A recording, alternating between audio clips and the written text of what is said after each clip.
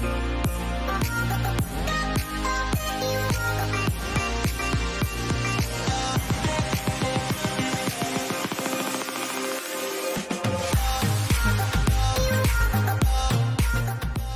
and welcome to this episode of Fort Worth Forward.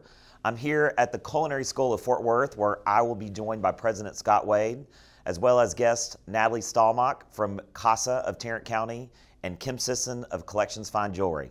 Let's go. And now I'm here with Scott Wade, who's president of the Culinary School in Fort Worth. Welcome, Scott. Thank you, Michael. I'll bet a lot of people actually don't know that a culinary school exists here in Fort Worth. So tell us a little bit about how it got started and then how you came to be a part of the culinary school. Sure, yeah.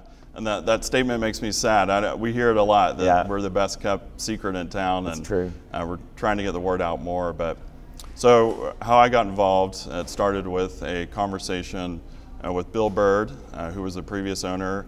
Bill and Judy uh, started the school way back in 1988. And uh, I I believe it started as cooking classes in, in Judy's home. And over the years, they advanced it, turned it into a career and vocational school. Uh, but, anyways, Bill and I had lunch one day, and really, I just wanted to sit down with him to pick his brain about being an entrepreneur and what that's like, what it's like being a business owner. And that conversation led to him saying, you know, he, he was later in his career and wanting, uh, wanting someone to take over the school. And so uh, one thing led to another in that same year. Uh, we ended up buying the school from him. And what year was that? It was 2014. 2014. I mean, a lot of people probably don't know that I actually attended back in 2014, I think, right when you took over ownership, and it was just Right. down the street. Correct. Yeah. So it was at the, uh, what was the address down there? That was on Camp Bowie. 6100 Camp Bowie, so we were above La Madeleine. That's right. Yeah, And that's that- where it started and where it was when, when Judy and Bill had it. correct. And then you moved to this new location. What's the address here? 6550 Camp Bowie. Camp Bowie. So when did you move here to this location? in 2016. 2016. Mm-hmm. So this is fun because we got all the students behind us. We have all this that's working, so people can see it's a it's a culinary school. So tell us a little bit about you know what's an average day like for your students here. Sure. Yeah. So these students are all part of our nine-month professional culinary program. Okay. And classes are five days a week, five hours a day. Okay. So they're here either from 8 a.m. to 1 p.m. or 4 to 9 p.m. Okay. And we're, we're big Is that so? I mean, kind of staggered so they can have other jobs and do other things. Correct. Yeah, Yeah. so uh, honestly, the morning class is our most popular time slot. Okay. Uh, but that evening class is for a lot of people that are working at eight to five or, you know, seven to four job. Right. And they, they come right after work and Okay. come to that class. Do How do, what is the sort of composition of a student? Are, are people that have typical, as you said, eight to five jobs, so they might be an office job, Sure. and they want to do this at night? And are there other people, I guess, that maybe have restaurant jobs, so they do- Exactly. yeah, okay. Yeah. So a lot of a lot of students are working in the industry, either part time or full time, and then they're coming here. But really, we have three categories of students. We have our students that are straight off high school. Maybe they did culinary in high school. Okay. But they're 17, 18 years old. Mm-hmm. Then we have our people that some experience in the industry, whether that's one to two years, and we've had some with 15 years of experience. Uh, but they want to come and get that formal training. And then we have our career changers, people that have been in the military or been in the business world but love culinary and they decide to make that switch and pursue this as a career. And that, so that's what. And that question is, what are they walking away when they're done with the program? What are they walking away with? What kind of degree, certification? Sure. Yeah. Yeah. So our school is a accredited post-secondary career and vocational school, so they Right. get a certificate from us. They also get two industry certifications. One is the ServSafe Manager certification. Okay. They have to pass that exam, but that, that's part of the program. And then our program is accredited by the American Culinary Federation. Okay. And so they get a certification from them as well. So a lot of them will maybe take this and go into a culinary field with the, with the technical degree. That, yeah. Right, right, exactly. With Yeah. the technical certification, and yeah, our hope and desire is that they go into the industry because they also get two months of on-the-job training as part of the program. Mm-hmm. Okay. Something called externship, Right. Where we place them in the last two months in a restaurant or a hotel, maybe a food truck, and we customize that to what they want to do after school. So what do we do? Is that part of the nine month or is it nine plus? So it's It- seven it's months in hands on or Correct. here and then two months hands on in, in an environment. Correct. Yeah, seven months here, two months uh, with one of our externship partners, and we vet those partners. We have 50 or so relationships, Okay. uh, with chefs in the community. That's great. And I mean, are, are there different tracks that you can take as part of the the, the, the degree? No, so all- this is one one Okay. track. It's our professional culinary program. Okay. Now we do have uh, some other offerings. One is a uh, apprenticeship Okay. program. That's where we partner directly with the employer. Okay. And so Fort Worth Club is one of our partners. Okay. That's a two-year-long apprenticeship. Okay. And then uh, Fort Works is another program where we partner with the Food Bank and Taste Project. Mm-hmm. And it's a 16 week training. It's free to the student and they get paid uh, for working during that time as well. That's great. That's great. And they're doing all the training here, or they're doing training. They, for that one, they do it at the Food Bank Food and then at uh, Taste Project. Okay, and and this is uh, you know a, a topic uh, uh, today. I, I'm sure you produce a lot of food here. What happens with this food afterwards? Sure. Yeah. Yeah. so students get to They can't eat it. eat- yeah, they no, can't they, eat they get to eat it uh, as long as I ate a lot when back in the day. cooked. Yes, yeah, yes. So often after the hands-on piece, they'll go and sit in the classroom and enjoy what they've made. Uh, also, they'll get to take home a lot of food to their family, and then uh, we donate the food scraps. So you know, for vegetables and fruit fruit scraps, donate that to the Tarrant Area Food Bank. Okay. There's a garden nearby, and they use that to make compost. Compost and then put it out in the garden. Okay, Mm-hmm. Right. that's wonderful. That's wonderful. What you know. Uh, outside taking the formal program, are there events or other things that happen here where people can can come, that our viewers can come and be a part of this? Sure. Yeah, definitely the Fort Worth Food and Wine Festival. Yep. We're, we're going to have a booth at the Rise and Shine Okay. event. I believe that's Saturday, April 1st. Okay. So our instructors and students will be there. So they can come, people can support that. Okay. Uh, also, the first Fridays at the Modern Art Museum. Mm-hmm. Uh, our, we have several alumni and, and current students that work at the Cafe Modern. Okay. And often Chef Jet over there will let our students uh, run with a, a menu on those first Fridays. So definitely go check out uh, Cafe Modern as well. Sounds fun.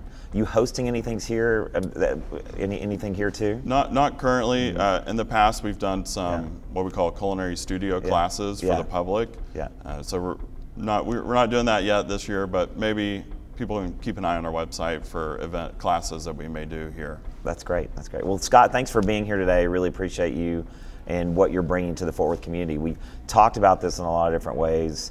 Uh, that we need to get our, our students educated, and maybe it's a technical or a vocational skill, and this is, serves that purpose and, and puts them on a career path to success. So, thanks for what you're doing. Great. Appreciate Thank it. Thank you. Thanks for having me. Thank you.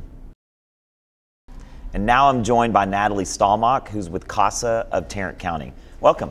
Thank you for having me. Of course, thanks for being here. Tell people what CASA is. So, CASA stands for Court Appointed Special Advocates. Okay. And those advocates are volunteers from the community who sign up to advocate for children in foster care right here in our community in Fort Worth and in Tarrant County. Okay, so they work with kids and Yes. work with judges in the court system. Explain a little bit about that. Yeah. So, when you are a volunteer and you're assigned a case, uh, there could be one child, there could be a sibling group, but your role is to help help that case move through the court system a little bit easier. Um, you make recommendations to the judge on what's in best interest of the children, visit them at their foster home or relatives' home, at school, advocate for them at school.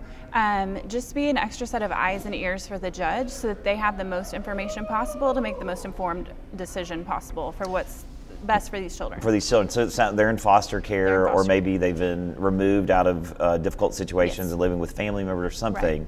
So the idea is y'all really work with that child, understand their needs, and then advocate for them with the judge and into the court system. Right. There's Yeah. so many moving pieces for kids when they're in foster care. They have a caseworker, they have an attorney, they may be in foster care or living with a relative. Then they may switch if they're in foster homes, they may switch foster homes, which means another family, another Right. school. So there's so much constant change going on for children that have already endured trauma before they even came into foster care.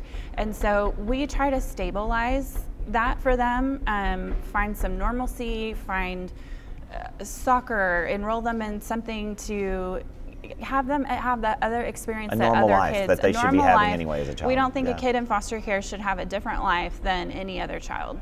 Well, that leads me to this is CASA's 40th year in operation. Uh, big. What success stories do you have from those 40 years? So our big focus right now is getting kids back with their families, um, back with their parents, and if that's not possible, with their relatives. And we've put a huge focus on that, particularly in the last decade. And just those stories that come out of finding relatives, getting kids back with their parents, and parents being able to go to parenting classes, get a stable job, get better housing, get their kids back, and move on with their lives. And if that's not possible, finding relatives and really having volunteers sort of dig into that and be kind of researchers and you know find a grandma in another state or an aunt uncle.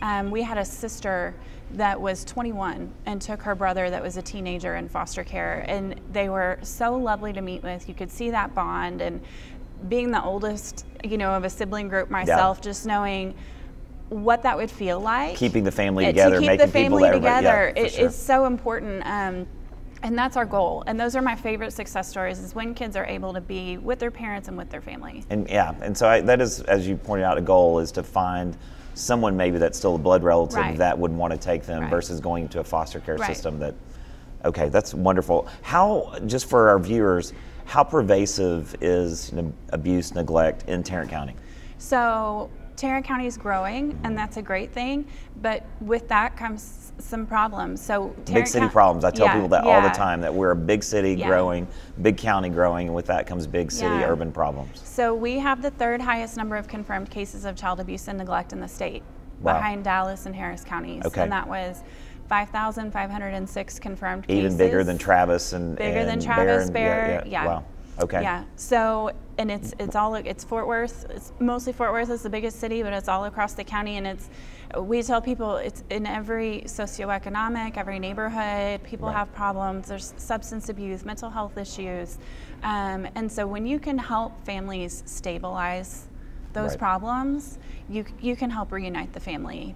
Yeah, but it is it is a, it is a, quite a big problem here in Tarrant County. Yeah, and I think you alluded to it. There are other social ills that are probably. Right. Um, uh, uh, causing some of these issues. Yeah, it's that, never one thing. It's Right. a combination of a lot of things, and that's what we saw in COVID. That the numbers went up, but there was just so much additional strain Mm-hmm. on things that were already there. Right. How did that? I, I think through a lot of times, it's reported through the school. Right. And kids weren't physically in school.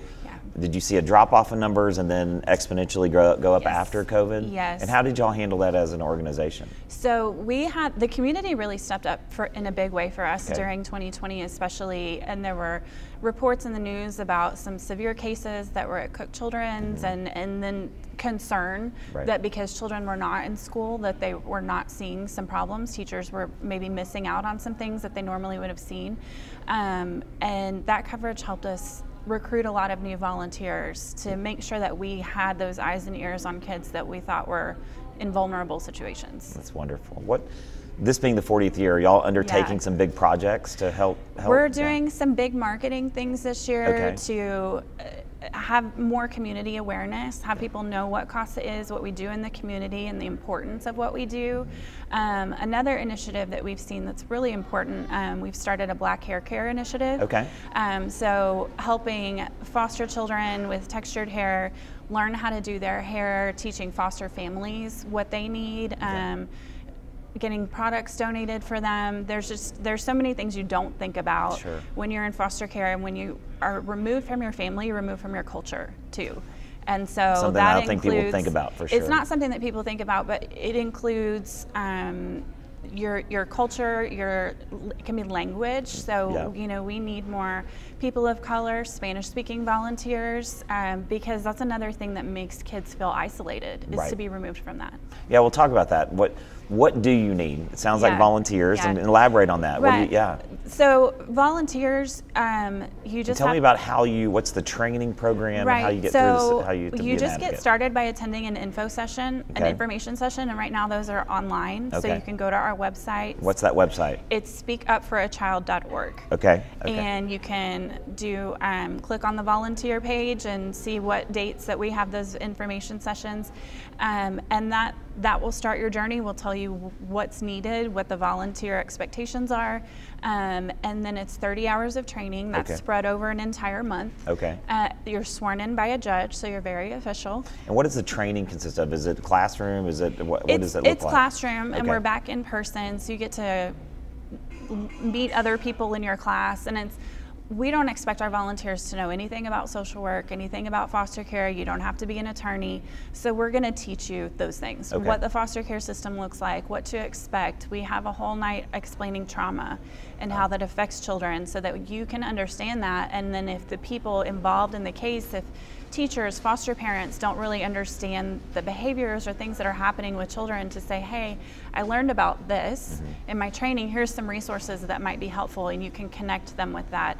Um, so we'll give you all the tools you need to be successful to do this work. That's great. You mentioned also you're sworn in by a judge. Yeah. Official. Yes. And how does that work out as a ceremony? Uh, it's it's it gives me chills every time Yeah. for all these people to stand up and raise their right hand and, and basically just say, I, I promise to be here for these children to advocate for their best interests. Right. Um, and it, it makes everybody stand up a little straighter and know that they're doing something really important and that judges in Tarrant County recognize this is important and they want to hear from our volunteers when they're in their courtroom. That's that's wonderful. And, and with that, just in your 40, what message would you like to send to people uh, Yeah. just about the organization, about how they, I mean, just about the organization? CASA is such a, a wonderful organization that impacts so many people, um, can affect generations, can break cycles of abuse and trauma. Um, and it, foster care and child abuse is hard. Um, it's a it's an issue that not everybody talks about, and so we want to bring that kind of darkness into the light and say, yes, there are issues, but we, we're an organization that helps um, kids move past that trauma and into a healthier, more stable place. Yeah. We were founded in Fort Worth um, by the Junior League of Fort Worth and Federation of Jewish Women. Okay. So we're just we're thankful that we were started here, and uh, thankful for all the donors and volunteers that have supported us the last 40 years, and look forward to continuing. There's still a need, and so we're we're ready to try to meet that challenge. Well, wonderful. Thank you so much for what you do. And um, I often, as a you know, father of adopted twins, um, often know uh, how important it is and the resources that we need to give to these children. So um, they didn't pick the situations that they, they're in, so we have to do what we can to protect them. So Yeah. I'm thankful for you and an organization like CASA making sure that happens. Thank you. Thank you. Thanks for being here today. Thanks for your time. And now I'm joined by Kim Sisson, who is president of Collections Fine Jewelry. How are you doing, Kim? Good morning. I'm doing good. Thanks, Thanks for for being me. here. Yeah, thanks for having me. Well, out of full disclosure, we have to tell people that we've been friends for. I'm not going to tell your age. No, but a long time. a long time. Um, back to like, Wayside Middle School uh, up north. So, Yes. um, and so I've been proud uh, to know you for this long and see the business grow, and that your mom and stepdad started, and see it sort of just take off. And so, tell us a little bit about how you decided as a career you wanted to go into the jewelry business. Yeah, so, you know, as you know, my mom started Yeah. the business when we were just toddlers. Yes. And what? Uh, yes. yeah, a long toddler, time ago. A long yeah. time ago. Um, in 1983, actually. And yeah. as the story goes, she actually she sold her first, made her first sale while she was sitting on the floor waiting for them to come and uh, set the phones up. Okay, So okay. you know, kind of this funny story of how everything came into it. And so my sister and I always grew up in the business. Um, I remember when we were younger. Uh, holidays are always the busiest time of the year. Yeah. And so we would go after school. Uh, we would go late into the night during the holidays, and our job was to either talk to the jewelers to keep them awake while they were working late, Yeah. or to deliver coffee. So we grew up there. Yeah. Um, and it wasn't always expected that we would come back to it. But uh, after I graduated from tech and then went on and was at TCU, I would come back to help my mom do different projects. Um, little things that you know a small business doesn't always have, systems development and processes and things like that. And after I graduated from TCU, um, she said, "Hey, you're still in the middle of these projects. Do you think you could stick around and just help me out for a little bit longer?" And I said, "Sure." Uh-huh. And that was a couple of decades ago. Still working. She sort of lured you into it She sure it. did. Yeah, she sure did. well, for a lot of people that don't know exactly where you're located, Yes. t- tell us a little bit about the ar- area, and let's you know the old OP store that was next door. Oh, oh my tell gosh, that was my first job, the OP Prep Yeah, store, yes. which was fantastic. I mean, Saginaw, let's think back in the 1980s, and I was actually thinking about this the other day. In the 1980s, I think the census reported about 6,000 people Yeah, in living Saginaw. in Saginaw, this Yeah. little sleeper bedroom community where people lived there but commuted. Right. Um, I think the 2019 census has us at about 25, 26,000 people, which is still That's- kind of small, but considering how fast that growth has been, Right. you know, you've gone from having little bitty OP prep shop to now having this large community that's growing. So it's been sweet to see um, that it still maintains that kind of cute, close community-esque feel. Right. Um, however, the high school that we grew up, we used to jokingly say on all four sides was nothing but fields and cows. That's right. The- yeah. And today it's the school nothing next but to the cow, Boswell High School for right, everybody the watching. schools yes, with the yes, cows. yeah, yeah. um, and and now it's nothing but residential around there. So it's developed nicely. It's developing and a lot, which is great for your business as part Right, of that. And so absolutely. you said 83. We're basically it's 40 years. It'll be so 40 years this tell tell us about the changes of a business over 40 years, building this small business and you know selling on the floor, Yeah. waiting for the phones, to Yeah. what you're doing now and all the parts of it. So it's not just the jewelry business. You also have CFG man- manufacturing. So talk about, about that. You are bit. right. Yeah. So it was everything always grew very organically, and you know, and being here in Fort Worth with all of the great commercial businesses that we have, um, what started as clients would come in for jewelry would then come in and say, you know what, at our company we do these lapel pins, Right. And Like they're this. yes, like Molly. this is where we get the Molly pins, everybody. So yes. And so, um, and so people would come in and they'd say, "Can you do that? Can you do a sales incentive? Can we do a ring? Can we do a gift with a clock or a watch or crystal bowl?" And that very organically grew into employee rewards and recognitions. So now you're opening that up to um, corporations. That then grew up into, "Hey, collections, we trust you to put our logo and our brand on this clock, this watch, this whatever. Can we then do it on a pen, a pencil, a hat, a cap?" And that turned into promotional and branded merchandise naturally that then turned into our most latest um, growing sector which is corporate uniforms corporate industrial uniforms. So we've got roughly from the corporate doing- space yeah, yeah, yeah, from the corporate space we now have clients in about 160 countries. Wow. um, and and that's been a lot of fun to see that natural growth to see it just grow as, as a I'm telling you, it's been you just you you keep your nose down and you just keep working. And um, you know, a lot of people ask, how does that work? And and you kind of you can appreciate this. You've got to work your business like you don't have a backup plan. That's right. Right? Own it, because right? when you Yeah, own it, yeah. you've got to work it like you don't have a backup plan. And when you do that, then you're all in. Right, Um, right. And you've got nowhere to go but positive.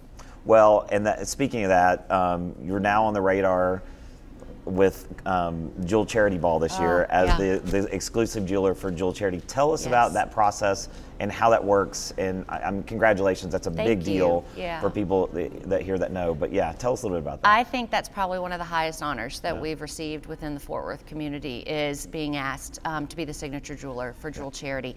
Um, we've gotten a chance to participate and to assist and, and to donate over the course of our 39 plus years, but this year is really something kind of special. We've got some amazing clients who are also members of Jewel Charity, Mm-hmm. and so when they made the decision this year, we'd like a local jeweler. Yeah. Um, and then they recommended us out of all the amazing local jewelers Yeah. in Fort Worth.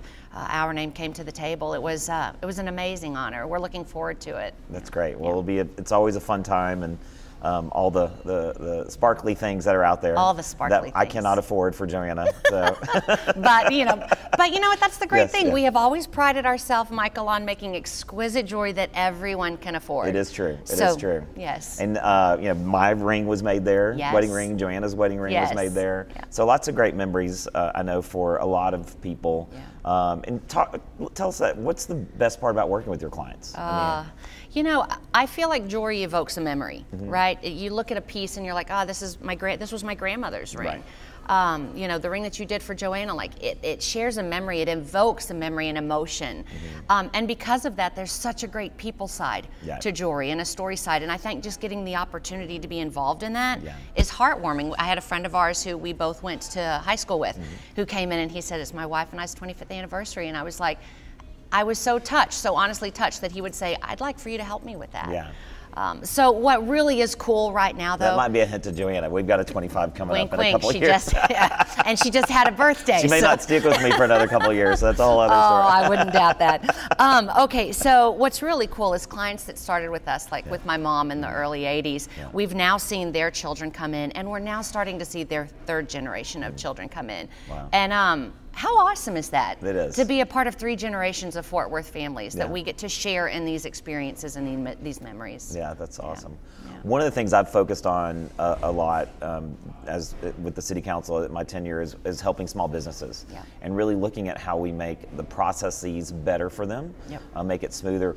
Uh, what advice would you give to someone that's has a small business, running a small business, wants to start a small business, all those things? What would you what what, what would you uh, you know? Give us some tips. I think the first one, like I mentioned earlier, is you've got to run it like you don't have a plan B. You know, and for a lot of people who start a small business, they don't have a plan B. So you've got that going for you. Right.